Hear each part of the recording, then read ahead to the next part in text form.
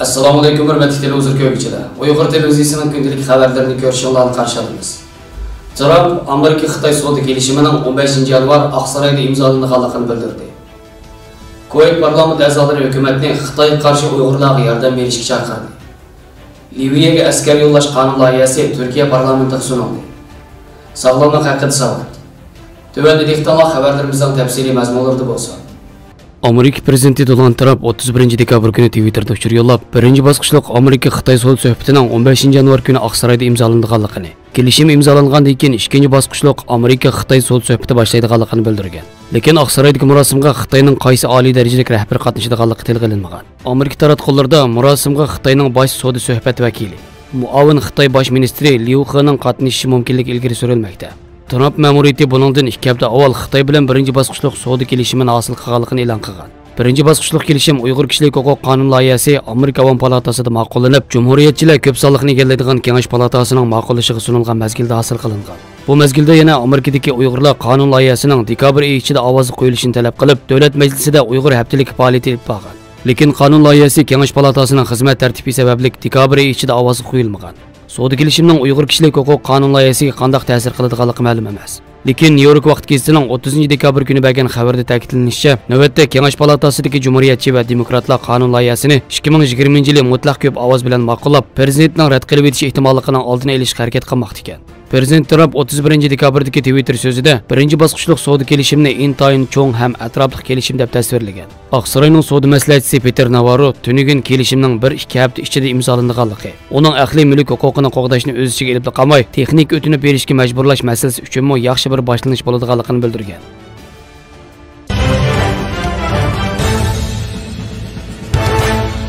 Kuveyt parlament a'zolari o'z hukumatini Sharq Turkiston va Hindistondagi musulmonlar uchrayotgan zulmni to'xtatish uchun harakatga o'tishga chaqirdi. 27 nafar parlament a'zosi imzo qo'ygan bir bayonotda Xitoyning sistemalik bostirish harakatlariga qarshi Uyg'ur musulmonlari bilan ittifoqlashish ta'kidlangan. Xitoyning Sharq Turkistonda yig'ilish lageri qurib, 3 milliondan ortiq Uyg'ur va boshqa turkiy millatlarni xohlagancha tutqun qilishi va xo'rlishi Amerika boshchiligidagi g'arb davlatlarining va kishilik huquq tashkilotlarining ayblashiga uchrayotgan bo'lsa-mu, musulmon dunyosida buningga qarshi sadolar germaniyalik turk futbol cho'lpini Mas'ud O'zilning 13 dekabr Twitter hisobida uchur yo'llab, Xitoyning Sharq Turkistondagi zulmini va musulmon dunyosining buningga sukut qilishini tanqid qilishi bilan ko'tarilishga boshlagan. Шуның белән бергә Kuvayt парламент әгъзалары Hindistonda yaqinda bo'lgan musulmonlarga куелган cheklamalarga карта әндишләрне белдергән. Hindistonda якында үзгәртеш kirgizilgan гражданлык канунында Афганистан, Бенгал ва Pokistondan kelgan ko'chmanlardan мусламанлардан башкаларга гражданлык хукукы бериш kapolatga ия кылынган булып, буныңга каршы намаишлар үзлексез дәвамлашмакта.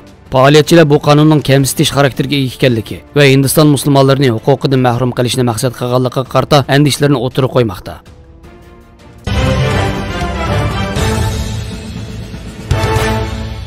Turkiyaning Liviyaga askar yo'llash qonun loyihasida Liviyaga harbiy yo'llashga nima uchun ehtiyoj borligi tushuntirilib, Liviyadagi to'qinish va terrorizm muhiti ta'kidlangan. To'qinishlar ishga urushga aylanib ketgan taqdirda Turkiyaning rayondagi manfaatlariga salbiy ta'sir ko'rsatadiganligi haqida ogohlantirish berildi. Qonun taklifida Turkiya askarlarining Liviyadagi vazifasining doirasi va chek-chegaralarining jumhur raislik tarafidan belgilanganligi ta'kidlandi. Turkiya armiyasining 1 yillik muddat bilan Liviyaga yo'llanish uchun vazifa o'tash ruxsati berilishi talab qilindi. Qonun loyihasiga asoslanganda Turkiya askarlarining Liviyadagi vazifalari tovandikicha. 1. Turkiya armiyasi Liviyada muntazam armiya qurilishi uchun kerakli ta'lim-tarbiya va maslahatchilik xizmatida bo'ladi. ikkinchi Turkiyaning davlat manfaatiga zid ahvollarga duch kelganda kerakli tadbirlarni oladi. uchinchi Liviyadagi qonunsiz qurolli guruhlar va terrorlik tashkilotlari tomonidan Turkiyaning Liviyadagi manfaatlariga qilinadigan hujumlarning oldini oladi. 4.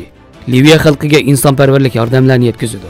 5. Liviya Dövlətlik Birləşmə Hökumətinin tələbiga binaən hərbi yardımlarda buludu.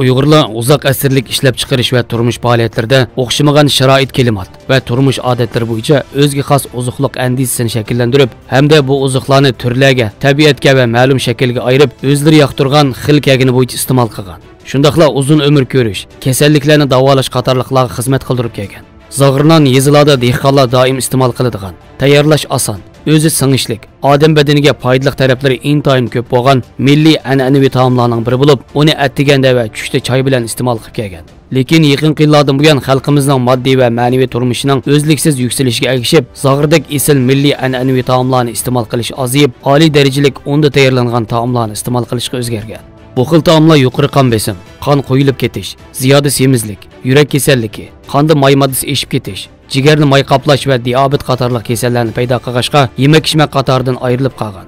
Qo'noq unib tayyorlangan zag'irnonni kishilar hozir qaytadan alohida dorilik sifatida iste'mol qilishga boshlamoqda. O'tmishda ajdodlarimiz kunda zag'irnonni atigan va tushda choy yoki qetiq bilan iste'mol qilib kelgachga ularda yuqorqidagi kasalliklar ko'rilmagan Buni milliy an'anaviy yemak ichmakimizning tabiiy xususiyati va tarkibidagi har xil moddalarning badanga bo'lgan shifoliq roldan ayirib qarg'ili bo'lmaydi. Bu jihatda an'anaviy g'izo zag'irnon alohida o'rinda turadi. Zag'irnon tabiiy jihatdan quruq issiq deb qaraladi. Zag'irnonning oshqozon, uchayni oziqlantirish va uchay harakatini tezlatish, badanning har qaysi o'rinlaridagi qon tomirlarini kengaytirish, qon aylanishini yaxshilash, qondagi maylarni parchalash, suydikni haydab börekning yukini yengillatib, rakning oldini olish va taraqqiyotini tizginlash. Çoğun tərətlə ravallanış duruş, bədənini uzuqlandırıb, energiya bilən təminləş, bədəndəki öllükünü qurutuş, hər qaysı toqulma əzalığa quvvət hasıl qilish, qandakı mayını eritib cigər xizmətini yaxşılaş, iştihanı içiş qatarlıq xüsusiyyətlərə ega. Şuna zağırnanı gündə muvafiq istimal qıpəgəndə salamətlik üçün nəhayət faydalıq. Xəbərlərimizi gögünə olaq rəhmət. Görüşküşə aman bulunlar. Xeyir xoş. Allah qamanət.